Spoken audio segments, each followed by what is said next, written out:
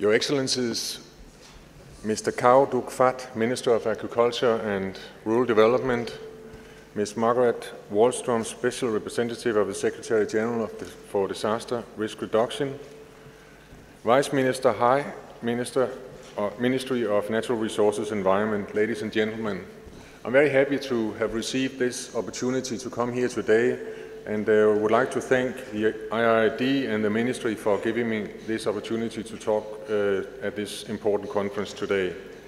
I think the topic of this discussion and the topic over for the next three days are of real importance and real concerns to the world today.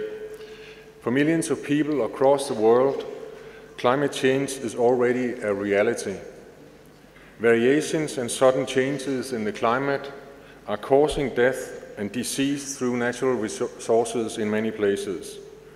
The consequences of climate change, among other intense droughts, storms, floods, and environmental stress, is also holding back efforts to combat poverty and achieving Millennium Development Goals in many places in the world.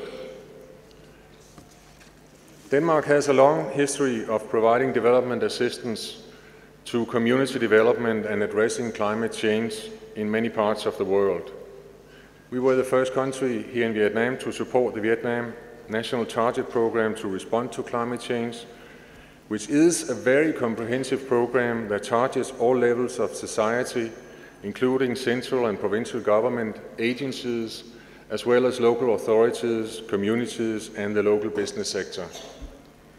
We have specifically targeted two pilot provinces, Ben Tre and Nam, where a significant part of our support is focused on vulnerable communities in coastal areas. I understand that some of you had the opportunity to actually visit some of the projects in Ben Tre uh, during the last couple of days. I think it's all important to say that although being vulnerable, many local communities have a long history of dealing with climate disasters, and they themselves have developed strategies and means to cope with the effects of climate change. I believe these strategies are crucial along the road of increasing cap capacity and build resilience. Much can be learned from these local survival strategies. It's therefore important to prioritize community-based adaptation that focuses on increasing local capacity and resilience towards climate change. It's important to draw on traditional knowledge on adaptation and as a supplement to modern knowledge and technology, use existing indigenous solutions uh, and they should play a key role, especially in relation to natural resource management. It's also important to emphasize opportunities created by climate change, the climate change agenda.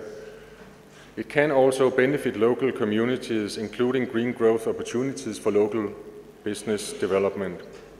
Vietnam has already approved a climate change strategy, and a green growth strategy will be ready very soon.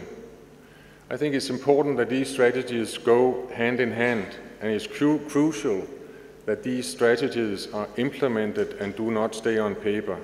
And we are certainly committed to support these efforts.